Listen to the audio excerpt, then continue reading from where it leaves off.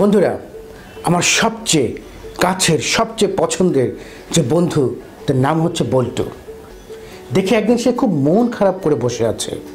আমি তার কাছে গেলাম, তার কাঁধে হাত রাখলাম। বললাম, বন্ধু, তোমার কি হয়েছে? তোমার মনটা কেন এত খারাপ? বলতো আমাকে মন খারাপ করে বলল, দোস্ত, একশোটা জায়গায় সিভি দিয়েছি, একটাও ইন্টারভিউ ডাক পেলাম না। আমি অবাক হয়ে বললাম কি বলিস? সেটাও সম্ভব। আমি বল্টুকে বললাম আচ্ছা ঠিক আছে, তো সিভিটা আমাকে একটু দেখাতো বল্টু তার সিভিটা আমার হাতে দিল। আমি ওর সিভিটা পুরোটা দেখলাম। দেখে বললাম, দোস্ত, তোমার এই সিভি দেখে ওরা তোমাকে কি ডাকবে? আমি নিজেই তো তোমাকে কোনো জব ইন্টারভিউর জন্য ডাকবো না। ও অবাক হয়ে বলল, কেন? আমি বললাম, বন্ধুরা জব ইন্টারভিউতে যারা থাকেন, তারা যে জিনিসগুলো তোমার সিভিতে চান তার কোনোটাই তোমার সিভিতে নেই। সে বলল, তাহলে আমার সিভিতে কী কী জিনিস লাগবে? আমি বললাম, বন্ধু, একটু অপেক্ষা করো, আমি তোমাকে সব বুঝিয়ে বলছি। প্রিয় বন্ধুরা, আজকে বলব তোমাদেরকে সবচাইতে গুরুত্বপূর্ণ একটা বিষয় নিয়ে, আর সেটা হচ্ছে কি করে সবচাইতে বেস্ট ওয়েতে সবচাইতে বেস্ট ওয়েতে সবচাইতে বেস্ট ওয়েতে একটা সিভি প্রিপেয়ার করতে হয়। বন্ধুরা তোমার সিভিতে যে বিষয়গুলোকে তুমি সবচেয়ে বেশি প্রাধান্য দেবে, সেগুলো হচ্ছে নাম্বার ওয়ান তোমার এডুকেশনাল কোয়ালিফিকেশন নাম্বার টু তোমার এক্সপেরিয়েন্স কাজের এক্সপেরিয়েন্স নাম্বার থ্রি তোমার অসাধারণ কিছু কাজের কিছু লিস্ট এবং তোমার অন্যান্য সমস্ত বিখ্যাত গুণগুলো যা তোমার ওই কাজের সঙ্গে যায় এবং সবশেষে হচ্ছে, তুমি এই কাজের জন্য কতটা কমিটেড সেটা ইন্টারভিউ বোর্ডকে বোঝানো তোমার সিভির মধ্য দিয়ে। বন্ধুরা, তাহলে চলো শুরু করি। একটা বেস্ট সিভি কী করে লিখতে হয়? আমি আগেই বলেছি বেস্ট বেস্ট সিভি প্রথমেই তোমাকে বন্ধু, যেটা লিখতে হবে সেটা হচ্ছে তোমার নাম। তুমি খুব ভালো করেই জানো। খুব সুন্দর করে, বড় বড় করে তোমার পুরো নামটা সেখানে লিখবে। অনেকে যেটা করে, লিখে এমডি মোহাম্মদ মুস্তাফিজুর রহমান। আরে ভাই এমডি মানে হচ্ছে ম্যানেজিং ডিরেক্টর তুমি কি ম্যানেজিং ডিরেক্টর তা নাও তোমাকে পুরো মোহাম্মদ এই বানানটি লিখতে হবে। সো তোমার পুরো নাম সেটা যাই হোক না কেন, তোমার পুরো নামটি তুমি বড় বড় করে সেখানে লিখবে। এখন তোমার এই নামের ফন্ট সাইজ কত হবে? তোমার এই নামের ফন্ট সাইজ হবে কমপক্ষে ষোলো থেকে বিশ। কালার হবে ডার্ক ব্লু কালার আর ফন্টের স্টাইল হবে গ্যারামন্ড অথবা জর্জিয়া। গ্যারামন্ড এবং জর্জিয়া হচ্ছে সবচাইতে স্মার্ট একটা ফন্ট যা তোমার নামটাকে সুন্দর করে তুলে ধরবে। সেকেন্ড যেটা তোমার লাগবে সেটা হচ্ছে বন্ধু তোমার নামের সঙ্গে তোমার সুন্দর অপূর্ব একটি পাসপোর্ট সাইজের ছবি, যেটা তুমি খুব রিসেন্টলি তুলেছ। সো তোমার নাম আর তার পাশে হচ্ছে তোমার সেই ছবিটি। এবার আসো আসল বিষয়ে। বন্ধুরা, প্রথমে যে জিনিসটি থাকবে সেটা হচ্ছে তোমার কন্ট্যাক্ট অ্যাড্রেস কন্ট্যাক্ট ইনফো এই কন্ট্যাক্ট অ্যাড্রেস আর কন্ট্যাক্ট ইনফোতে আসলে কি থাকবে? চলো সেটা জেনে নেই। প্রথমে থাকবে হচ্ছে তোমার ফোন নাম্বার যদি তোমার একাধিক ফোন নাম্বার থাকে, তুমি সবগুলোই দেবে। এমনকি তোমার পিতামাতার ফোন নাম্বারও যদি থাকে, সেটাও দেবে। কারণ বলা যায় না, কখন তোমাকে ফোন করে বসে আর তুমি হয়তো ব্যস্ত আছো, ধরতে পারছ না, অথবা হয়তো তোমার ফোনটি বন্ধ। সো কোনোভাবেই যেন তোমার কোনো ফোন নাম্বারে মিস না হয়ে যায়। এই জন্য তোমার বেশ কয়েকটা, যতগুলো সম্ভব তোমার আওতার মধ্যে আছে, সবগুলো ফোন নাম্বারে তুমি সেখানে দিয়ে দেবে। বন্ধুরা ফোন নাম্বার তো দেওয়া হয়ে গেল। এবার হচ্ছে তোমার ইমেল অ্যাড্রেস তোমার যদি একাধিক ইমেল অ্যাড্রেস থাকে, তাহলে তুমি একাধিক ইমেল অ্যাড্রেস ইউজ করবে।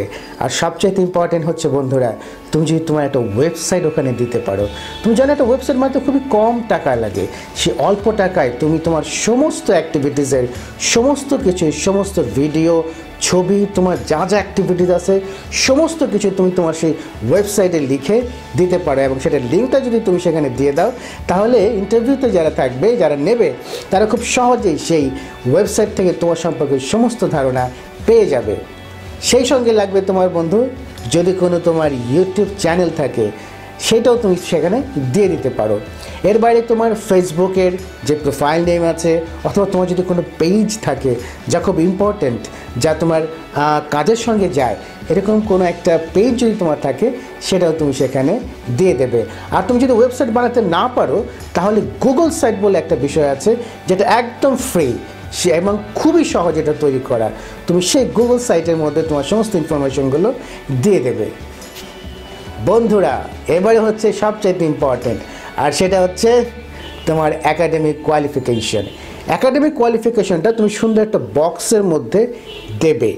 সবার আগে দেবে যেই ডিগ্রিটা তুমি সবার শেষে অর্জন করেছ। ধরো তুমি মাস্টার্স করেছ, তাহলে তোমার মাস্টার্সের বিষয়গুলো সবার আগে থাকবে। অর্থাৎ এম এ সেটা কোত্থেকে পাশ করেছ? তোমার সাবজেক্ট কী ছিল? তুমি কত সনে পাশ করেছ? এবং তোমার রেজাল্ট কী ছিল? এই সমস্ত তথ্যগুলো সেখানে থাকবে। মাস্টার্সের পরে থাকবে তোমার অনার্স তারপরে থাকবে তোমার এইচএসসি তারপরে এসএসসি এইভাবে তুমি বিষয়টিকে সাজিয়ে রাখবে। মানুষ হয়তো উল্টোটা করে থাকে। তুমি কখনই উল্টোটা করবে না, বরং তুমি এইভাবে সাজাবে। বন্ধুরা, এরপর হচ্ছে আরও ইম্পর্টেন্ট বিষয়, আর সেটা হচ্ছে তোমার জব এক্সপেরিয়েন্স তুমি এর আগে যা যা কাজ করেছ, সেটা ছোট হোক, সেটা বড় হোক, এবং সবার লাস্টে যে কাজটি তুমি করেছ, সেটা তুমি সবার আগে দেবে। সেটা তুমি কোথায় করেছ তোমার পজিশন কী ছিল? তুমি সেখানে কি কি কাজ করেছ? এই সমস্ত কিছু ডিটেল তুমি সেখানে দেবে। এভাবে তোমার চার পাঁচটা জব এক্সপিরিয়েন্সের একটা লিস্ট তুমি দিয়ে দেবে, যাতে কি ইন্টারভিউ বোর্ডে ওরা বুঝে ফেলবে যে তুমি আসলে কি ধরনের কাজ করে থাকো, কোন ধরনের কাজে তুমি সবচেয়ে বেশি এক্সপার্ট তাদের একটা ধারণা হয়ে যাবে। বল্টু এর পরে তোমার যেটা দিতে হবে সেটা হচ্ছে তোমার এক্সট্রা অর্ডিনারি অ্যাক্টিভিটিস তুমি হয়তো অবাক হয়ে ভাবছ, আমার আবার এক্সট্রা অর্ডিনারি অ্যাক্টিভিটিস কি? বন্ধুরা, ভেবো না। একটু ভেবে দেখো, তোমার জীবনেও তুমি এমন কিছু ভালো কাজ করেছ যা তোমার জীবনে অনেক বড় মাইনে রাখে। সো সেইগুলো তুমি দিয়ে রাখবে। আমি তোমাদের কিছু উদাহরণ দিচ্ছি। ধরো, যেমন ধরো, তুমি কোনো একটা সেমিনার করেছ, অংশগ্রহণ। করেছ। তুমি কোনো একটা ওয়ার্কশপে অংশগ্রহণ করেছ। তুমি কোনো একটা লিডারশিপের কাজ করেছ। তুমি কোনো একটা প্রোগ্রাম অ্যারেঞ্জ করেছ, একটা ইভেন্ট ম্যানেজমেন্ট করেছ, কিংবা হয়তো এমন কিছু করেছ যা অন্যদের জন্য অনেক ইন্সপায়ারিং তুমি হয়তো কাউকে মোটিভেট করেছ, কাউকে হয়তো কোনো কাজে লাগিয়েছো, কারোর জন্য হয়তো তুমি বিশেষ কিছু করেছ। এই সমস্ত কিছুই তুমি তোমার এক্সট্রা অর্ডিনারি অ্যাক্টিভিটিসের মধ্যে দিয়ে দেবে। বলটু এর পরে তুমি যেটা দিবে সেটা হচ্ছে তোমার আদার কোয়ালিফিকেশনস আদার কোয়ালিটিস এই আদার কোয়ালিটিসগুলো কী জিনিস? এই আদার কোয়ালিটিস হচ্ছে যেমন ধরো তোমার ক্রিয়েটিভিটি যেমন ধরো তোমার অনেস্টি যেমন ধরো তোমার ডেডিকেশন যেমন ধরো তোমার প্রোঅ্যাক্টিভনেস তুমি যে কোনো কাজ দৌড়ে করে ফেলতে চাও, খুব দ্রুত সময়ে করে ফেলতে পারো। এই সমস্ত কিছু। ধরো তুমি খুব লয়াল তোমাকে যে কাজ দেয়া হয়, তুমি কোনো প্রশ্ন না করে সেই কাজ অত্যন্ত দক্ষতার সাথে করে ফেলো। তোমার হয়তো ইন্টারপার্সোনাল কমিউনিকেশন স্কিল খুবই ভালো। তোমার হয়তো প্রেজেন্টেশন স্কিল খুবই ভালো। তুমি হয়তো খুব সুন্দর করে কথা বলো। তুমি হয়তো ডিবেট করেছ। তুমি হয়তো এরকম অনেক ক্লাবের সঙ্গে যুক্ত ছিলে, যেখান থেকে তুমি অনেক স্কিল অর্জন করেছ। এই সমস্ত কিছু তোমার আদার কোয়ালিটিসের মধ্যে তুমি দিয়ে দেবে। এরপরে হচ্ছে বন্ধুরা তোমার অন্যান্য ইনফরমেশন যা জবের সঙ্গে অত ইম্পর্টেন্ট নয়, কিন্তু দিতে হয় তাই দেয়া। যেমন ধরো তোমার পার্সোনাল সমস্ত ইনফরমেশন তোমার বাড়ি কোথায়, তোমার বাবা মার নাম কি, তারা কি করে থাকেন তোমার ধর্ম কি, তোমার রিলিজিয়ান কি, তোমার ন্যাশনালিটি কি, এবং আর আর যে সমস্ত থাকে হাইট টাইট কালার এইসব। তুমি যদি দিতে চাও, তুমি এগুলোও দিতে পারো। তুমি ম্যারিড কিনা নাকি আনম্যারিড এই বিষয়গুলোও তুমি দিতে পারো।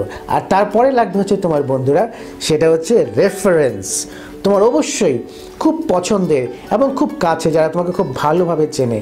এরকম দুইজন প্রফেসরের কাছ থেকে তুমি দুটো রেফারেন্স নেবে। যদি এরকম কাউকে না পাও, তাহলে বিখ্যাত কোনো ব্যক্তি, যার সঙ্গে তোমার হয়তো পরিচয় আছে, এরকম বিখ্যাত কোনো ব্যক্তির দুটো রেফারেন্স তুমি দেবে।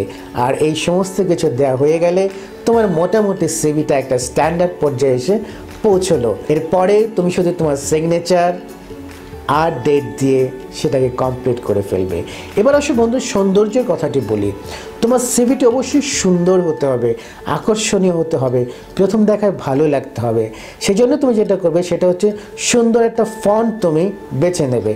প্রথমে আমি বলেছিলাম তুমি গ্যারামন্ড অথবা জর্জিয়া, এই ফন্ট দুটো থেকে যে কোনো একটা বেছে নিতে পারো। এবং প্রত্যেকটা আইটেম তোমার যা আছে, যেমন একাডেমিক কোয়ালিফিকেশন তোমার আদার্স কোয়ালিফিকেশনস তোমার এক্সট্রা অর্ডিনারি কোয়ালিফিকেশন এই সমস্ত কিছুকে তুমি যদি আলাদা আলাদা বক্সে করে দিতে পারো, তাহলে যেটা হয়, এটা দেখতেও খুব সুন্দর লাগে আর প্রত্যেকটা বিষয় একটু আলাদা আলাদা করে হয়।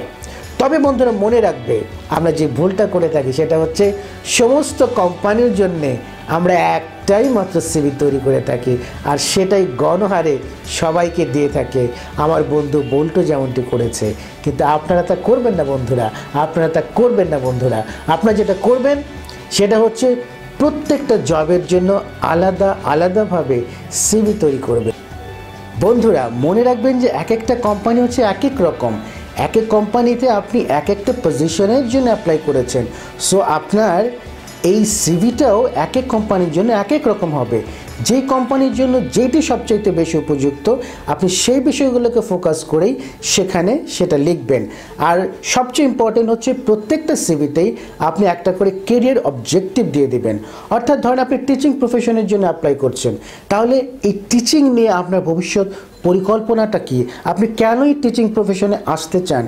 এ বিষয়ে আপনি ছোট্ট করে একটা সুন্দর মধুর ল্যাঙ্গুয়েজে কিছু লিখে দেবেন। ধরেন আপনি মার্কেটিং জবে যেতে চান, তাহলে মার্কেটিং নিয়ে আপনার কি স্ট্র্যাটেজি আছে? আপনার কি প্ল্যান আছে? আপনার কি স্বপ্ন আছে? সেগুলো আপনি সেখানে লিখে দেবেন।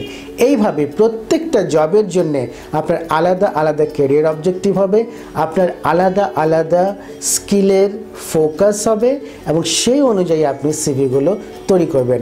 বন্ধুরা, যদি আপনি আমার এই সমস্ত কথাগুলোকে মেনে নেন, যেমনটি বল্টু মেনে নিয়েছিল এবং তারপরে সে প্রত্যেকটা কোম্পানির জন্য আলাদা আলাদাভাবে সিভি তৈরি করেছিল এবং যেই কোম্পানির জন্য যে স্কিলগুলো প্রয়োজন, সেগুলোকে ফোকাস করে সে সিভিগুলো তৈরি করেছিল এবং আপনি জেনে অবাক হবেন যে তার পরের দশটা সিভি থেকেই সে ডাক পেয়েছিল, যার মধ্যে চারটা চাকরি তার হয়ে গেছে বন্ধুরা।